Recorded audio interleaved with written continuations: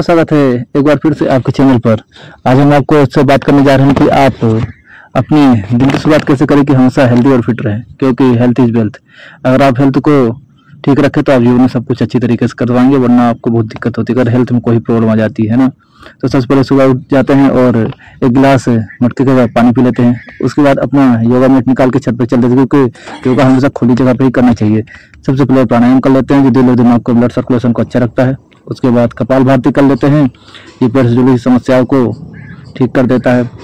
इसके बाद दस बार सूर्य नमस्कार कर लेते हैं, उसके बाद भ्रामणी प्राणायाम कर लेते हैं मरकटकासन कर लेते हैं और को और भी आसन कर लेते हैं जो हमारे शरीर को क्या करे, फुर्तीला बनाए रखे।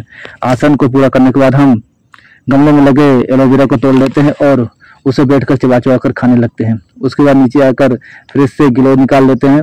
ये एक अच्छा एंटी ऑक्सीडेंट होता है, ये ये स्वाद में कड़वा होता है, पर ये बॉडी को पूरी तरह डिटॉक्स कर देता है और हमारे अंदर के विषैले पदार्थों को बाहर निकाल देता है। इसको गर्म करने के लिए गैस में चढ़ा देते हैं, दस मिनट के बाद इसे छान के पियेंगे। इसके बाद रात में भिगोए हुए बादाम छील कर खा लेते हैं। उसके बाद थोड़े चने भिगोए थे, उसको भी ले लेते हैं। ये, इसमें प्रोटीन का अच्छा सोर्स होता है, जो कि हमारे मसल्स को एक्टिव बनाए रखता है। अब गिलोय को छान के पी लेते हैं।